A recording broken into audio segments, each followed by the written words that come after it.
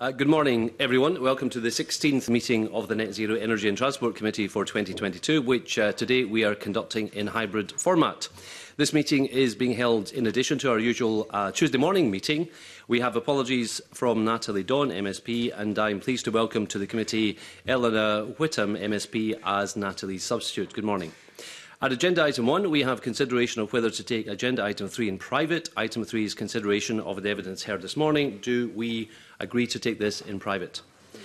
That is agreed. Thank you very much. Our main agenda item today is an evidence session in relation to our inquiry into increasing energy prices. This inquiry is looking at the significant increase in energy prices, what is driving this, what impact this is having, and what can be done to alleviate the worst impacts. Yesterday, in relation to this inquiry, we heard from Ofgem, and today we are going to hear from the Right Honourable Greg Hans MP, Minister of State at the Department for Business, Energy and Industrial Strategy, who is joining us remotely. Uh, good morning, Minister. Welcome to the committee.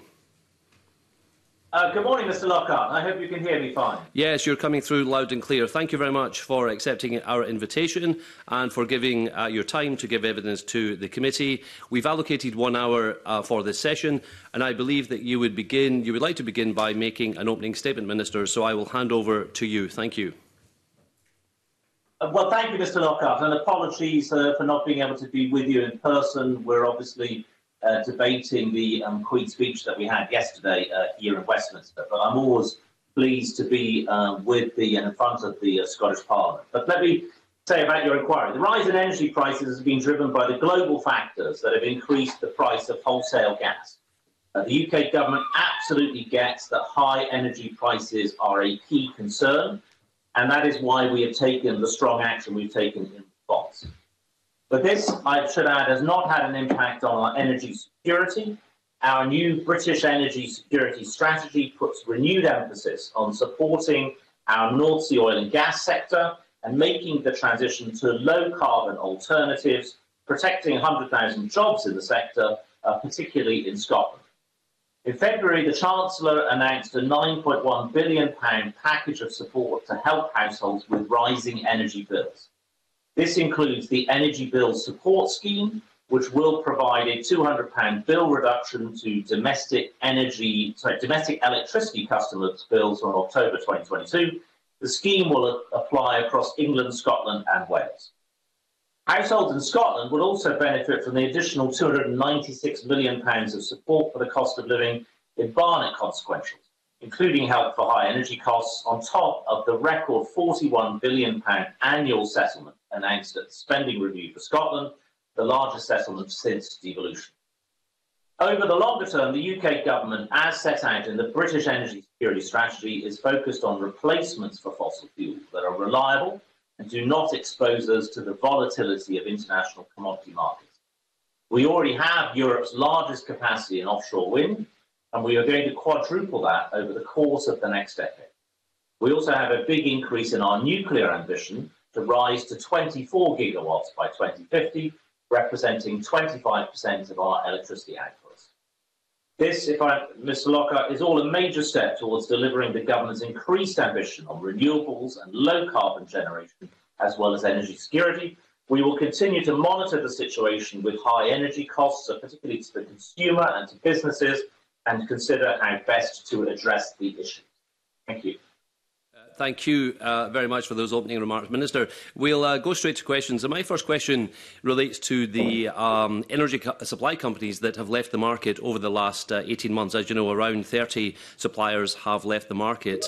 And the supplier of last resort process has added £2.8 billion to consumer bills, which, as you know, is on top of the increase in wholesale energy costs. We uh, had Ofgem at the committee yesterday. They indicated that uh, this is the only mechanism they have available to recover costs. Um, so can I ask, what other tools has the UK government considered could be available in this context, and what other powers could be given to Ofgem to mitigate the consumer costs of companies leaving the market? Well, thank you, Mr. Lockhart. It's a very good question, and uh, I'm glad that Ofgem uh, appeared before you to answer that because uh, principally um, SoLR is a matter um, for Ofgem. Um, first thing I would say is I think the SoLR process has worked well. Um, uh, overall, Uh, we've had uh, a lot of customers transferred um, successfully. in fact, nobody, I think, has had any disruption in supply. Two and a half million customers overall across the 28 SoLRs. That has been a good and seamless process. Um, in terms of reviewing or looking at uh, in the future how these costs might be met, we do think at present um, that the SoLR process and how that is met, socialising the costs across uh, customers is the best way.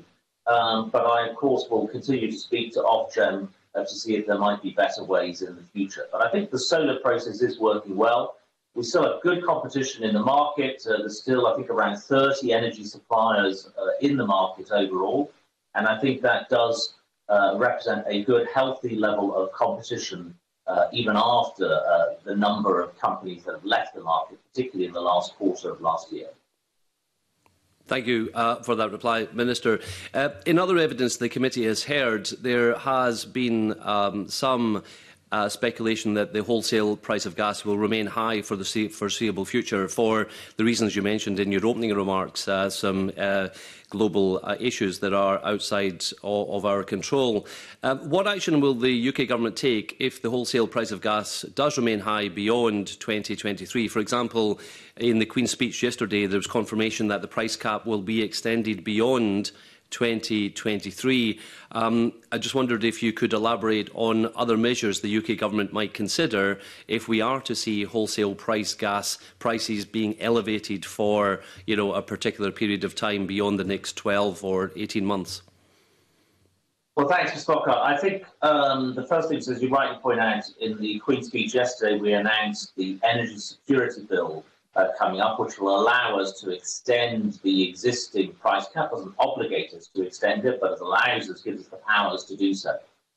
Um, second thing I'd say is it's very, very difficult to predict um, energy prices. Um, as we've really seen in, in, in, recent years, you know, we uh, typically, for example, the gas price in this country uh, hovers between around about 50, typically 50, 60p um, a therm uh, and that has been the case most of the last uh, 25 years.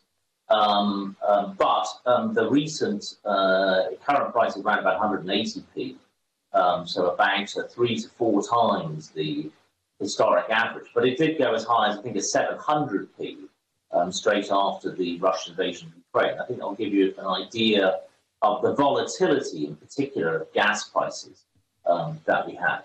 I think we have to uh, watch the market very, very carefully. Um, the price cap, uh, as you know, gets reset every six months. It, uh, if you like, uh, lags by two months. So it takes price cap that will come in in next October. The refreshed price cap will be based on prices.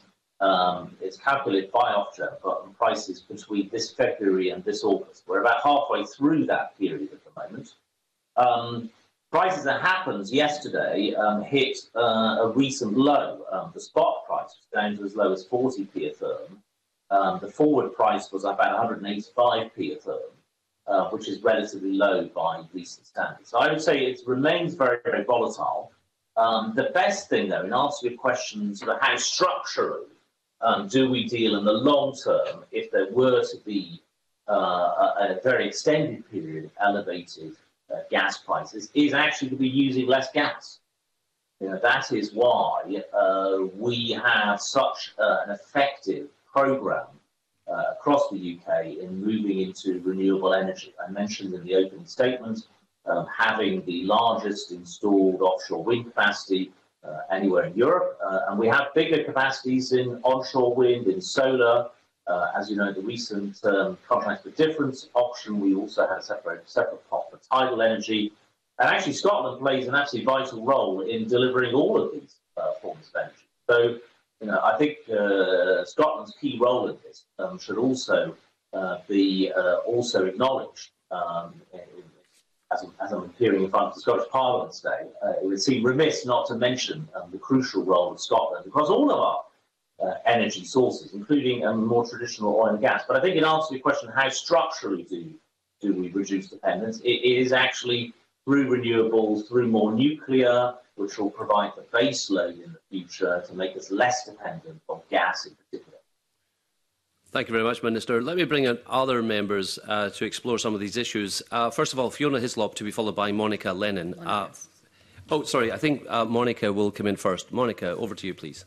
Oh, thank you, Convener. That's, that's very kind. Um, good morning, Minister. Welcome to the, the committee. Um, we all listened with interest to the to the Queen's speech to hear what the, the UK government plans to do because a couple of weeks ago this committee heard from a fuel poverty charity and they warned unless the UK government and the Scottish government take more action there will be a catastrophic loss of life this winter, so it is very, very serious.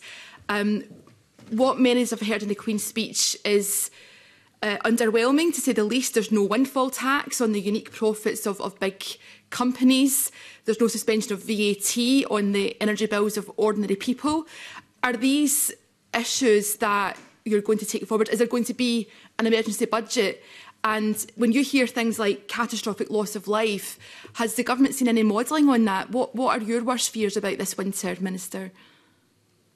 Uh, well, thank you, uh, Ms. Lennon. Thank you for the, the, those questions. There's a, a lot in there, so let me try and sort of uh, answer as best I can. Um, uh, first of all, I think the action in the Queen's speech is uh, is building on action that we've already taken. So the uh, package of measures announced by the UK Chancellor on the 3rd of February, the 9.1 billion pound package of action on bills, which I also mentioned in the opening speech, um, and that's part of a 22 billion pound package overall this year uh, to help households with the cost of living. Uh, we recognise uh, that we cannot uh, provide complete insulation, for want of a better term, um, from these uh, big rises, particularly the big rises in energy bills.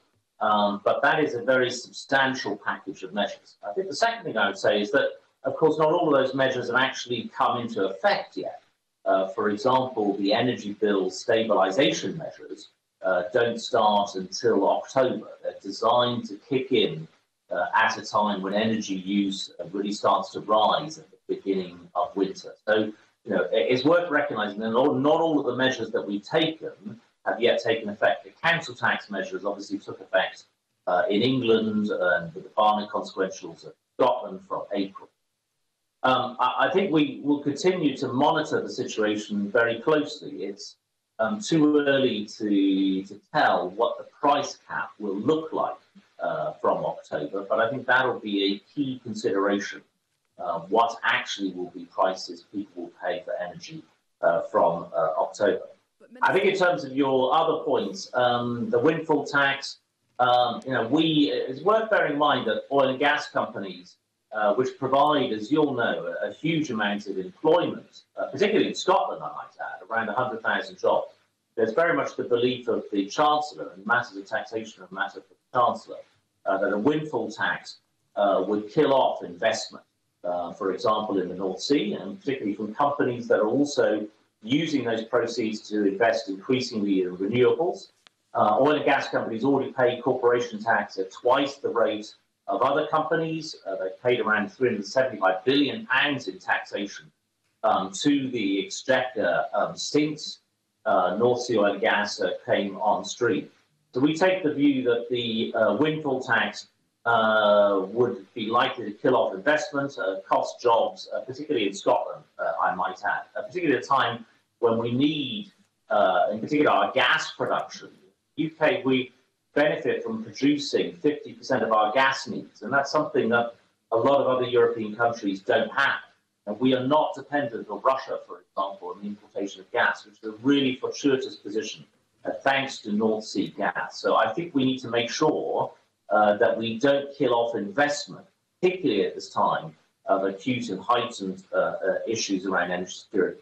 I think on VAT, if I might add, it would be a very untargeted approach to cut uh, VAT on energy. Uh, what we have done has been a much more targeted approach to make sure uh, that those most vulnerable uh, benefit from the support that we've provided. Um, so, for example, on council tax, properties in bands A to D, the, at the less wealthy end of the spectrum, and also the increase, for example, in the warm homes discount uh, and other measures to really get uh, money back into the pockets of those uh, most vulnerable. That is, whereas the VAT cut would be uh, disproportionately benefiting uh, wealthier households. Um, thank you, Minister. Um, perhaps government needs to listen more closely to what firms are saying, I think a couple of weeks ago, Scheller on record it's saying that they're quite comfortable about a windfall tax. So certainly more can be done. And instead of killing off investment, just to quote your words back, what we're hearing from charities, trade unions in Scotland, local volunteers and food banks that the cost of living crisis is killing off people. So with respect, we need to hear more from both your government and expect the Scottish Government what will be done. Just moving then further, um, a, field, because I, I know you also have responsibility for, for climate change, and we are looking at, at longer term um, solutions as well. In your view, should the proposed Jackdaw oil fields go ahead? Is that the kind of investment that you want to support?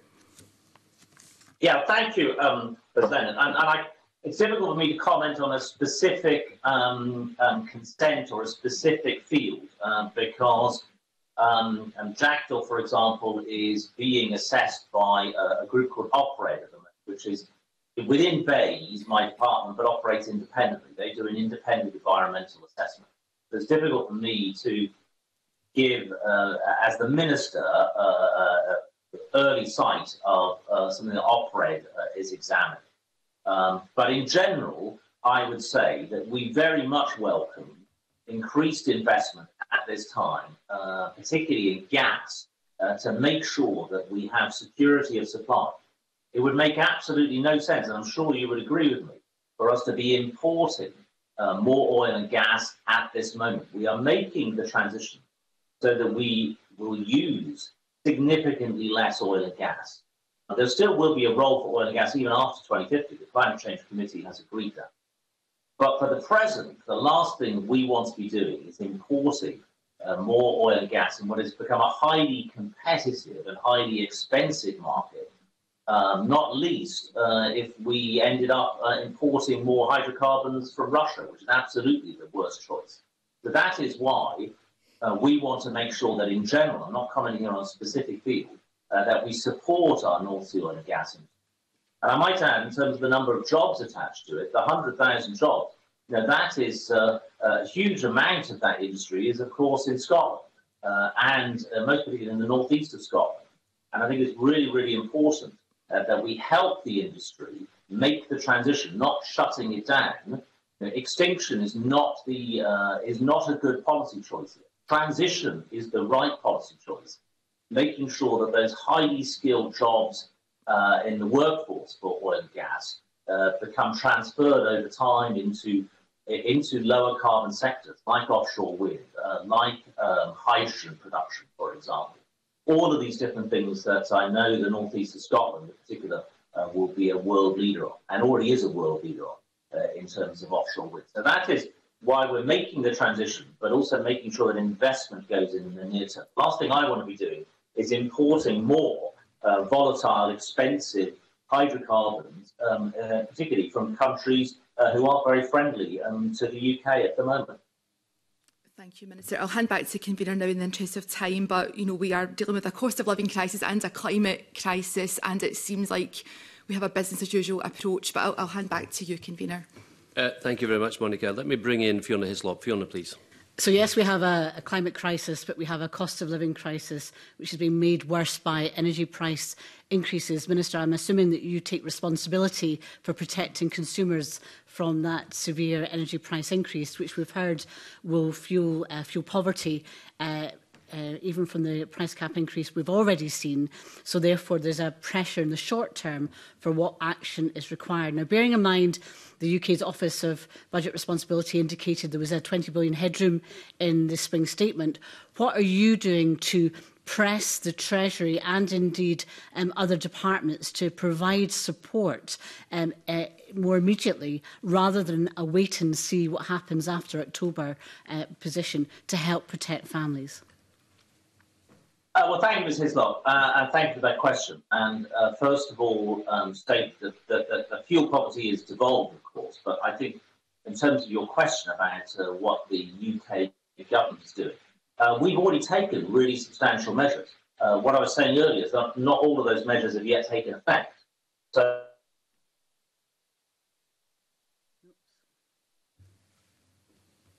It looks like we have a slight problem uh, with the Minister's connection. Uh, Minister, your, sc your screen froze slightly there for a second. Would you be able to uh, go back a sentence, perhaps?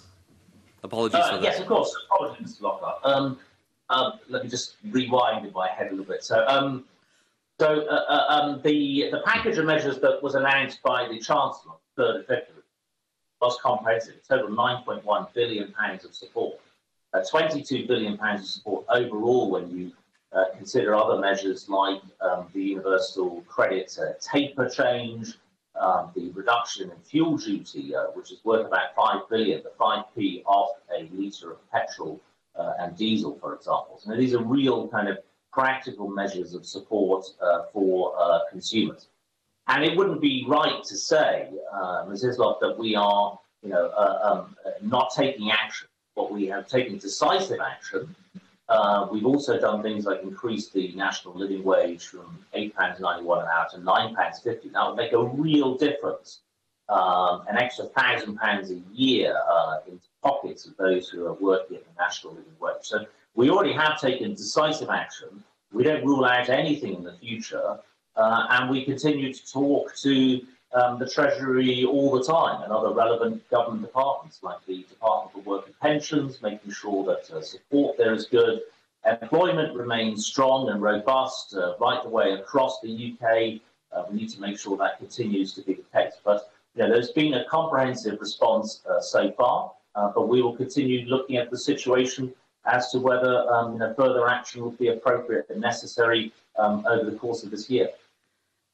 So I think the evidence that we've heard is that there should be a recognition what action has been taken already, but rather than wait and see what happens in the autumn, could measures be put in now as opposed to wait to, to, to the winter when we know that people will be absolutely suffering? So I think that's the, the message that we've heard uh, from our other witnesses and, and we want to relay that to you.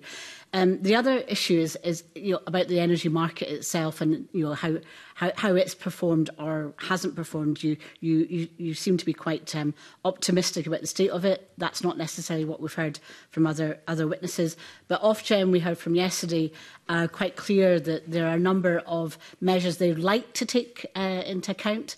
Your energy security bill it seems more focused on supply security as opposed to consumer uh, protection.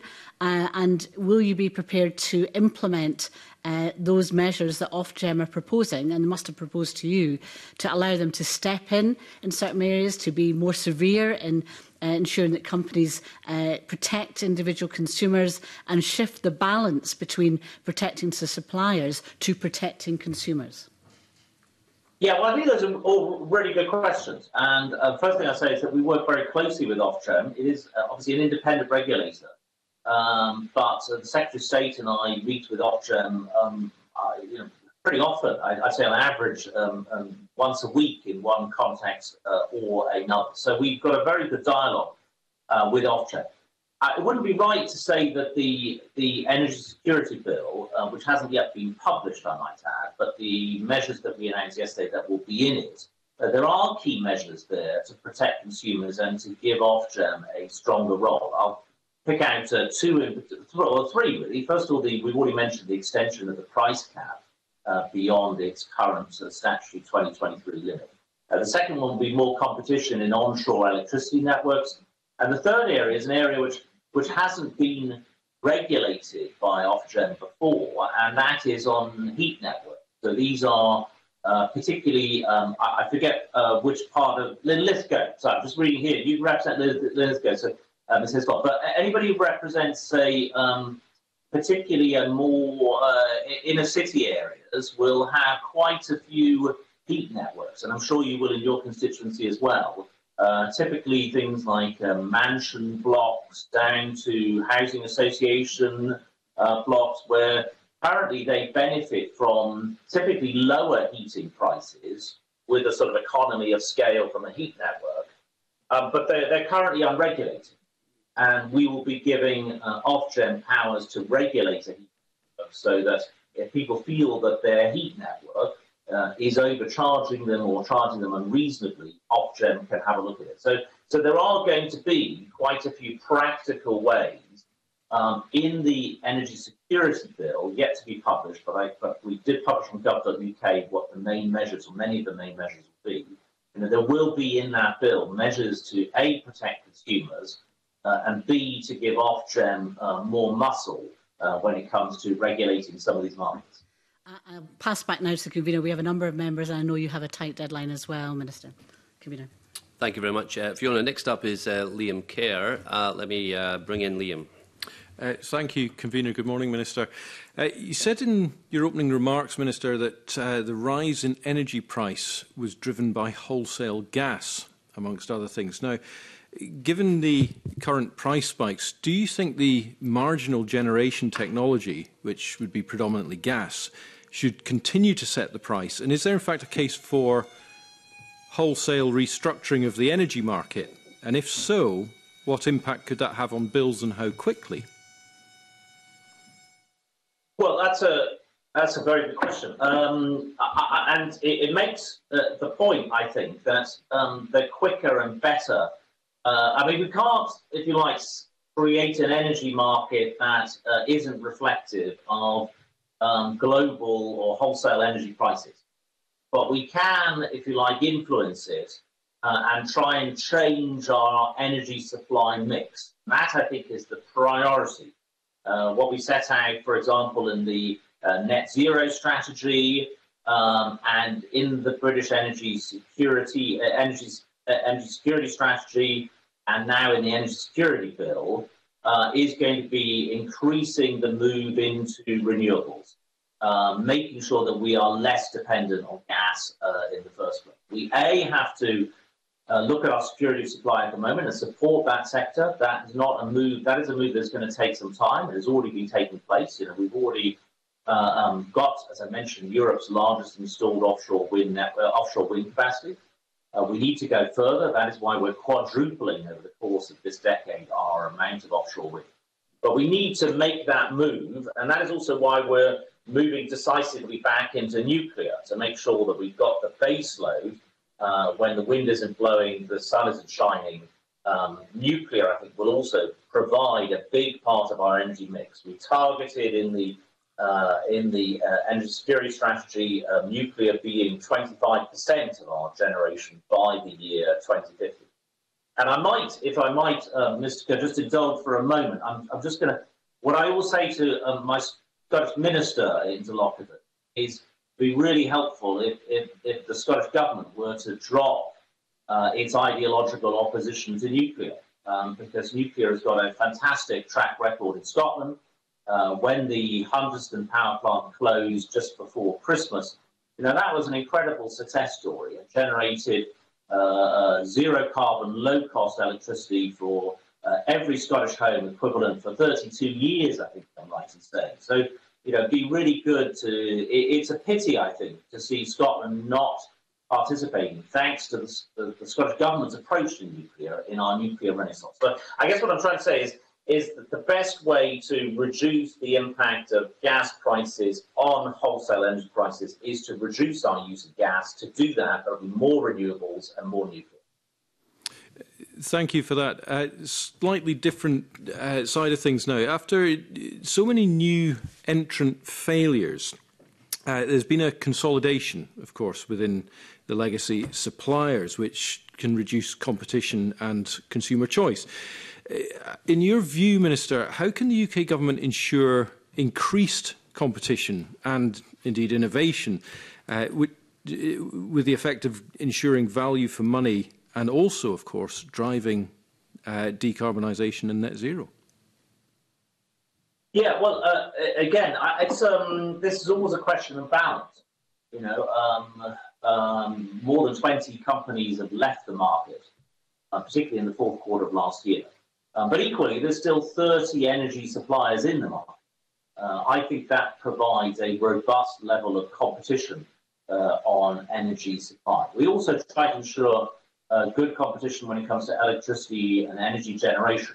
Our CfD auctions, if you like, put in amount of government money um, but doesn't but make sure that not everybody wins, not every project wins in a CfD auction. So we create competition there between electricity generators uh, as well. So making sure that this remains a strong and robust and competitive market, I think is one of our key priorities. I think the fact that 30 energy supply companies, I'm satisfied that that is still providing a high level of competition. We'd like to see uh, more competition in some other parts of the market uh, uh, as well. In terms of innovation, I think we've got a really good innovative market. Um, you know, uh, companies are there's some quite um, forward-looking, quite uh, tech-savvy companies. There's quite a diversity of energy suppliers in the sort of things that they are able or willing to offer their customers. Anything from uh, companies that take on sort of a large number of your bills beyond energy. There's companies, obviously, a large number of uh, renewable-only um, energy suppliers. There's um, kind of energy suppliers that have got more of a niche geography or a, a, niche thing to sell. You know, I think there's good diversity in our energy suppliers and very innovative as well. You know, we we quite often see um, energy companies react well to um, government announcements. The government is, is, the UK government. We're not able to sort of step in and and provide. Uh, give me a good example with heat pumps. You know, we're, we're, it's not realistic for the government to come along and give everybody, install everybody a heat pump. What we have said is the um, the boiler transformation fund, the 450 million pound fund we launched uh, in the autumn, uh, if you like, to pump prime the heat pump market. Uh, we've seen energy suppliers react really well to that and say, actually, you know, thanks to the support being given by the UK government, we think that we will be able to drive up demand, which will therefore bring down costs in the heat pump market.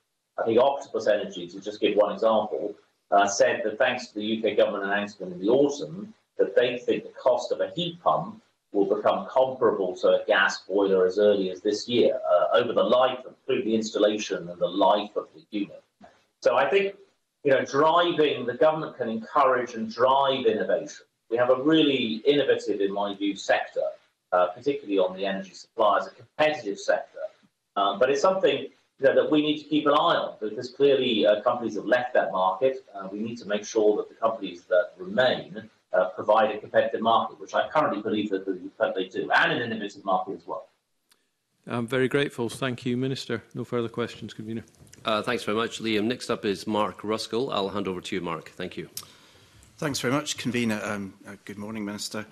Um, we, we've had some very sobering evidence on the impact of households who are suffering fuel poverty. We were told that for many it's no longer a choice between heating and eating. They can't do either. We were told that for many on uh, very low incomes that are now spending over half of their income uh, on energy alone. Now, you said earlier on in this session that you can't provide complete insulation for those people who are in fuel poverty. You can't protect them. But do you recognize that the package of measures which you announced several months ago now, when we get to the autumn, probably aren't going to be enough to support those people who are going to be in spiraling debt and are going to be uh, faced with even greater levels of fuel poverty. And you're going to have to think again as to what those measures are that you can ramp up to protect those people. Uh, now one uh, example that's been brought to this committee um, from Scottish Power was the establishment of a deficit fund that wouldn't give people a £200 loan on their, on their electricity bill, it would give them a £1,000 um, grant to enable them to get out of fuel poverty and to wipe out their debts. Are you considering uh, initiatives like that? Uh, what, what are you considering may need to be done in the autumn if we're going to continue to see people uh, spiraling into fuel poverty, spiraling in, into debt?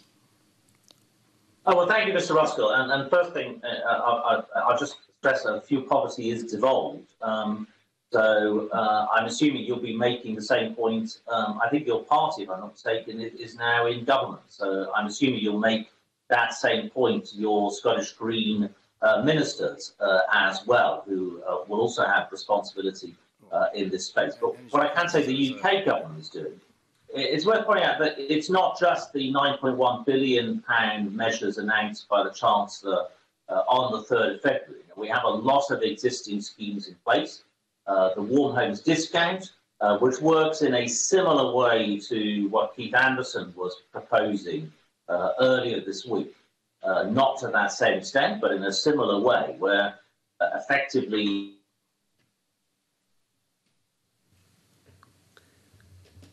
It looks like we have another slight technical issue with the minister's connection. Uh, Minister, I'm sorry, your, your screen uh, froze for a second there as well. So if I could ask you to uh, backtrack li literally 10, 10, 15 seconds. Right, okay. Uh, my apologies, Mr Lockhart. I'm not, uh, must be, um, I've not had this problem before, but, uh, um, uh, uh okay, so the, um, the what uh, Keith Anderson, the Scottish Power, was pushing, um, and know, he is, he, I mean, Keith Anderson is incredibly respected uh, and uh, been in the, the, market a long time. And he is uh, understandably concerned uh, about the market and concerned about consumers, which I think is absolutely the right approach and is the approach shared by the UK government. But we have put in place, and the Warm Homes discount, we have extended that. We've increased it to £150. It now goes to 3 million households. Don't forget, we also have existing schemes in place, cold weather payments as well, um, to make sure that uh, the elderly are particularly supported uh, at times of uh, particularly cold weather, uh, as well as increased uh, energy needs. So there's a lot of support mechanisms in place.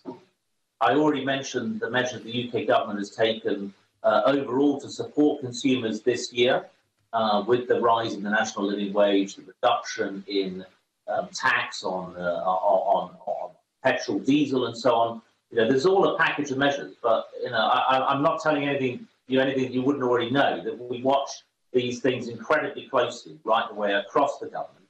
Uh, we also have good conversations with the Scottish government and other devolved administrations about this. Uh, it is a, a watching brief, um, at, but at the moment, uh, the measures that we have in place uh, we think are substantial, and some of those measures, as I stated earlier, haven't yet taken effect. Like, for example, um, the price stabilisation mechanism, £200 uh, discount off energy bills, has not yet actually taken effect. So, um, you know, something that we keep a really, really close eye on. Um, when it comes to fuel poverty, as I said, I'd urge you to have a, a word with um, your uh, the ministers uh, from your uh, party as well in the Scottish Government. Well, I mean, it, it would be great if our ministers had full control over energy, including energy markets, but of course we, we don't, Minister, and that, you know, that responsibility uh, lies with yourself. I mean, what I would like to see is investment across the UK in getting families out of fuel poverty, and it's quite clear that the measures at the moment are, are not working. That's what we're being told, that families are continuing to spiral into debt. Um, you talked earlier on about um, ideological opposition to nuclear power. Can I ask you why do you have an ideological opposition to a windfall tax? Because across Europe, we're seeing uh, the European Union's plan to reduce reliance on oil and gas, um, favouring a windfall tax. We're seeing Italy introduce a windfall tax, increasing it to 25%, raising 10 billion euros. We're seeing Spain introduce a windfall tax as well. Surely, as a, as a short term emergency measure, uh, a windfall tax would help to boost the kind of programs that you and I know are needed across the UK to get families into a position where they're coming out of fuel poverty. Uh, and, and clearly something which would not be resisted by oil and gas majors who are making billions and billions of pounds.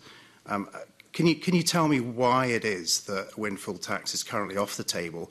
What would have to change in the state of the energy crisis at the moment for you to reconsider the introduction of a windfall tax?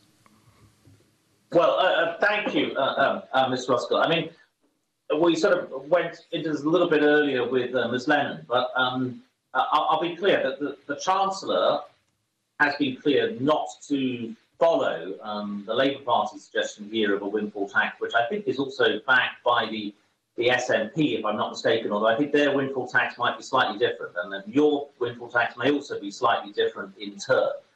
Um, but what we have said is this, that oil and gas companies pay corporation tax at twice the rates of other companies. They are paying, there's a big increase in the amount of tax that we are taking from those companies uh, this year already. We also do need, however, those companies to make the investment, uh, the investment which particularly affects jobs in Scotland, again, I might add, uh, particularly in the northeast of Scotland, 100,000 jobs overall. Um, and we need them to invest uh, to make sure that we are able to use our own gas resources in particular at the moment rather than have to import them. I think that is incredibly important.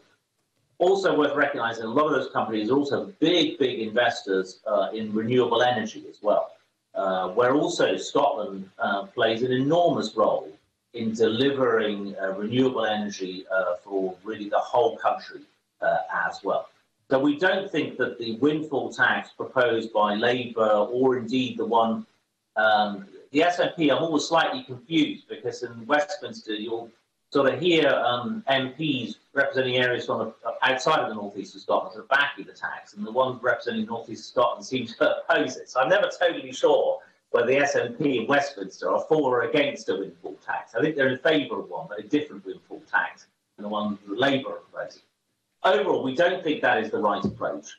Uh, we think the better approach is investment uh, making sure those jobs are secure, making sure our diverse energy mix continues, making sure that the North Sea makes the transition, uh, not closing it down, uh, makes that transition to guarantee those jobs, that skill base, and make sure we've got the energies we need today whilst transforming to the energies of the future to reach net zero uh, by 2050.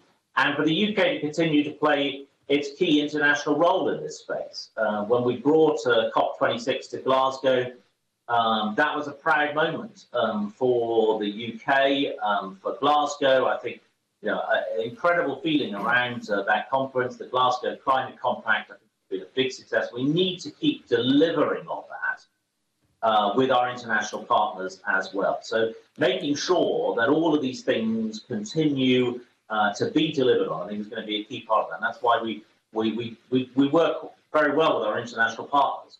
Um, and the UK, I don't think, is an outlier. Uh, we would be an outlier if we were to close down our own oil and gas resources. We would absolutely be an international outlier then if we were to do that. But thankfully, uh, that is not what we're doing, but that might be what you might be suggesting that we do. Uh, but that is, to be absolutely categorical, transition is the answer, not closing down. It, it's hard to see how the investments that the oil and gas industry may be making or not making renewables today are actually going to benefit consumers that are sitting there in fuel poverty, spending over their half of their income today on energy. Can I ask you then, final question? Um, you, you, don't, you don't believe in a windfall tax. You don't believe that's the right approach. Um, presumably, you don't want to take uh, money out of general taxation to invest in supporting those in fuel poverty. Um, do you believe that that cost then should be put back onto energy consumers uh, and that that's where the money should come from to then help support those who are most in fuel poverty? Well, look, I, mean, I've already said that we, we, we got a 9.1 billion pound package this year, uh, announced in February by the Chancellor um, to support uh, energy consumers.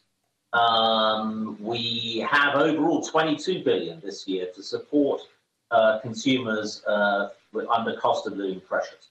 Uh, we also have existing uh, measures in place like the Warm Homes Discount, winter fuel payments, cold weather payments and so on that also support uh, consumers. Uh, that, that is the support that's in place. I'm not denying that consumers are facing difficult times at the moment. Uh, and that is why we're keeping this continually under review. All matters of taxation are always kept under review uh, by the Chancellor of the Exchequer and the Treasury. that is why we uh, announced the measures that we did on the 3rd of February, and we wouldn't hesitate to announce further measures. Um, but we are not introducing any emergency budget. Uh, we think that we've taken the action, the right action, the right time. And as I say, some of those measures haven't taken effect yet, will take effect when consumers most need it, uh, particularly going into next winter. Thank you very much, uh, Mark. Uh, Liam Kerr has a very brief supplemental in this area, then I'll bring in Jackie Dunbar. Uh, Liam, please. Very grateful, convener. Uh, Minister, just on the line of questioning we've just heard, Chris O'Shea, uh, who is the CEO of British gas owner Centrica, said just today that a windfall tax would hit investment and actually push up costs in the longer term. Uh, my question to you is, do you think that increased costs to consumers could be a result of the windfall tax that is being proposed? Well, I think that's a really good question, Mr. Stern. I, I think uh, it's very likely to be so, um, depending on exactly um, which windfall tax uh, that you take. But I think uh, anything that uh, uh, prevents or reduces investment in either the um, energies of today, particularly gas coming out of the North Sea, uh, or renewables today and in the future, is, is likely to have an impact on, on both prices and emissions, I might add. It's also worth pointing out that um, UK continental shelf gas um, comes with much less emissions than imported liquefied natural gas. Uh, so actually, uh, anything that uh, drives down our supply, increases our imports, is also likely to have a negative impact uh, on emissions uh, as well. But when it comes to investment, uh, you know, we've been absolutely clear. We need the industry to invest. We're putting pressure on the industry to invest in the UK. Uh, the response so far has been good to that. Uh, recent announcements uh, by both BP and Shell on more investment in the UK. Uh, and it's really important that we continue to send that signal. You know, our signal to industry is we need you to invest in the UK. Uh, we will provide a supportive regime, uh, making sure that you make the transition as well. The North Sea Transition Deal is, if you like, our Bible there the deal that we signed last March uh, with the sector to make the transition, with obligations on the sector like things like um, um, uh, platform electrification, all of these things. The right way to do it is to work with the sector uh, to make the transition, make sure that they invest. Uh, in the meantime, the UK government uh, will uh, make the case for our energy today, whilst also making our move to renewables increasingly, where you know, the UK is, is a world leader when it comes to renewables. We're a world leader in offshore wind. Uh, we do a huge amount of onshore wind, huge amount of solar, increasingly tidal.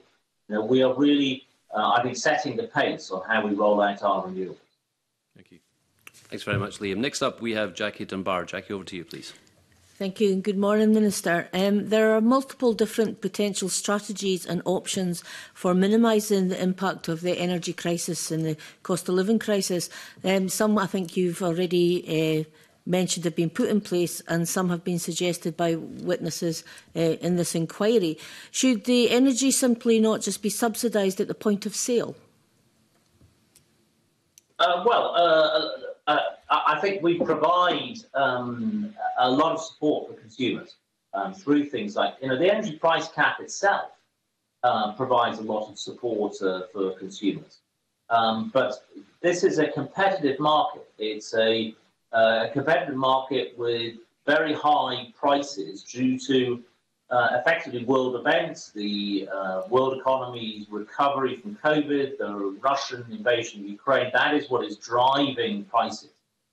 Um, and ultimately, those higher energy prices, the UK is not immune or exempt from high energy prices. Even with our own excellent sources of supply, we are not immune from high prices uh, in worldwide wholesale markets.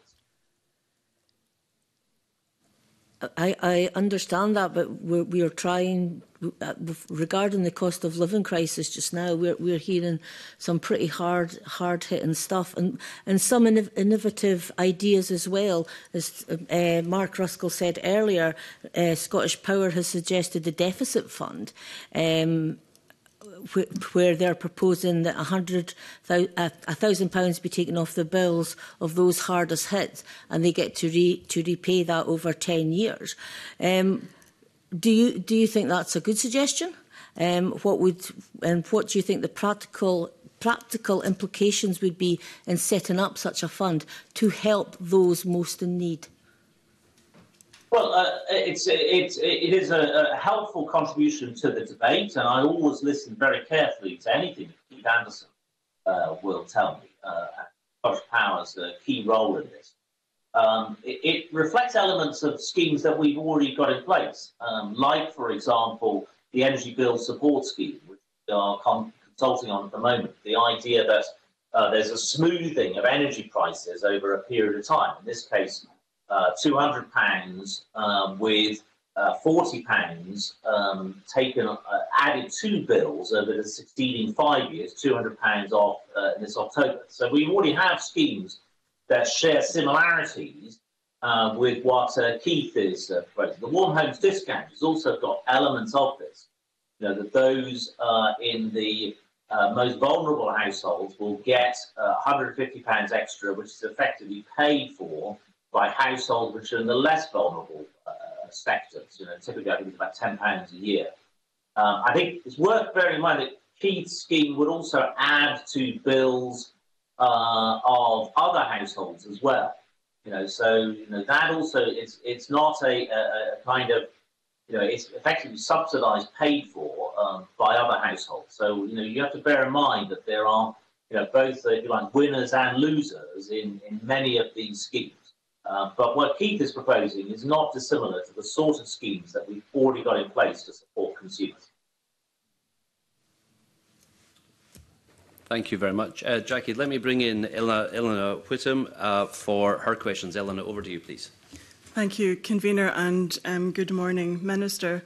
Um, I'm also convener of the Social Justice and Social Security Committee, and we've taken harrowing evidence that shows people are facing unimaginable choices and support services are already extremely stretched. Um, and this appears to be disproportionate across the UK versus the rest of the world in terms of this, this global crisis, as you set out.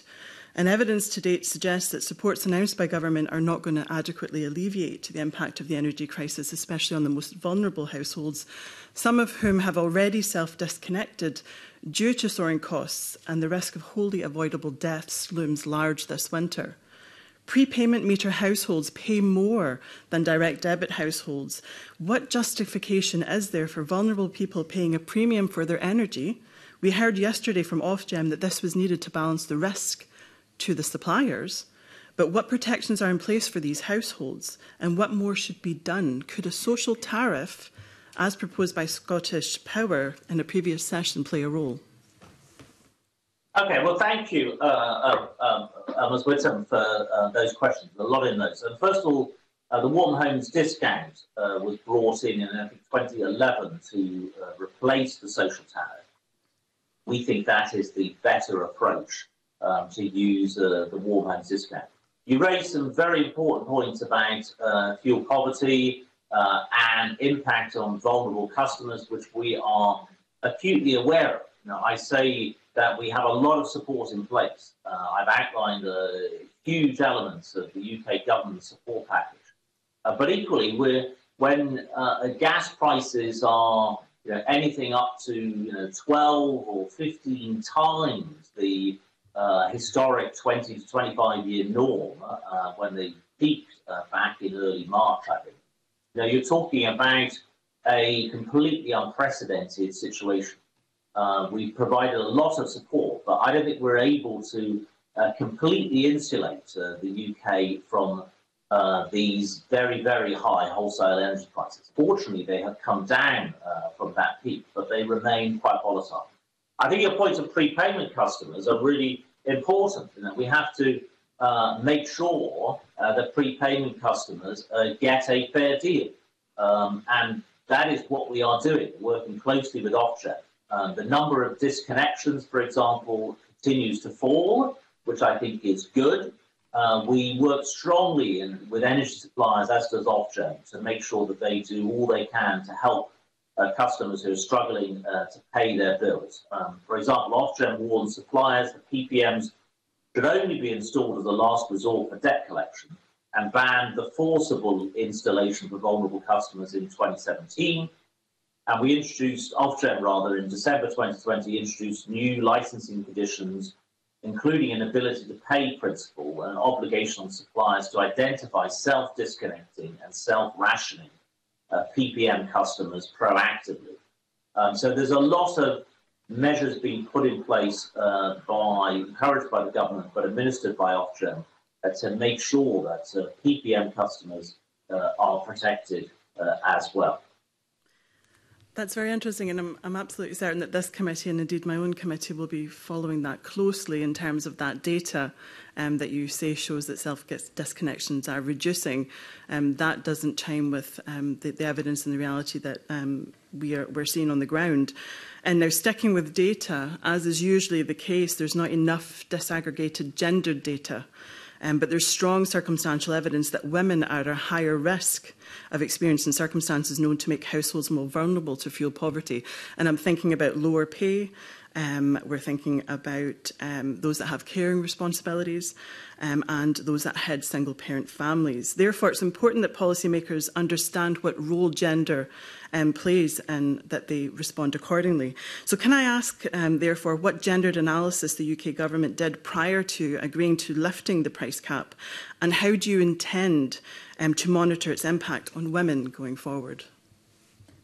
Well, thank you. And uh, these are all incredibly important points. Um, first thing I'd say is that the price, the operation of the price cap is a matter, of matter for. The price cap is in there to protect consumers um, and um, was designed as such, particularly to protect those um, who were facing what's called a loyalty penalty, making it um, penalised effectively for not moving uh, between suppliers.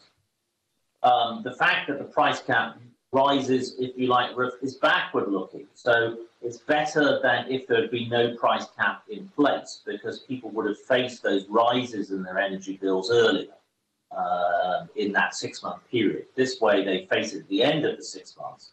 Uh, that is why sometimes the price cap looks like it's going up a, lot, up a lot, and it has done. But if you like, it reflects the preceding period of rising prices. I remind you that fuel poverty is, of course, devolved, Scottish measures differ to those uh, in the rest of the UK. I can tell you the statistics for England, we don't have specific, because it's done by household, we don't have specific um, female male data uh, are based on household. Um, in terms of fuel poverty data, at least in the rest of the UK, it'd be a good question to put to the Scottish ministers how they disaggregate it. What I can say is that there's some characteristics of, of vulnerable customers and more likely to be women than men. That is certainly true. Uh, for example, lone parents with dependent children are 26.5% of fuel poverty compared to 13.2% of the population as a whole. But that is not defined, obviously, as being women, but it's much more likely to include women at twice the rate of fuel poverty. So a lot of the base of your question uh, is likely to be correct that women suffer from fuel poverty more than men. But I would stress it would be more complicated. You'd have to really disaggregate uh, the data uh, overall. Um, so we don't publish fuel poverty statistics uh, in England or I think even the rest of the UK based on gender. I'm, I'm not sure what the Scottish government do, uh, um, but we're definitely um, lone parents and in couples are more likely to be fuel poverty uh, than uh, um, single people. That is certainly true. So I'm, I'm, not disputing the basis of your question, uh, but fuel poverty data is collected by household rather than by individual. Uh, but some of the indicators within those households will definitely show that uh, lone parents, uh, for example, are more likely to be in fuel poverty uh, than others, if I may. but I think it's a good question to put to the Scottish Government as well as to how they do their data. Thank you very much. It's a question I will put to everybody at any opportunity that I have because we don't have enough disaggregated gender data for, for most things. Thank you, Convener.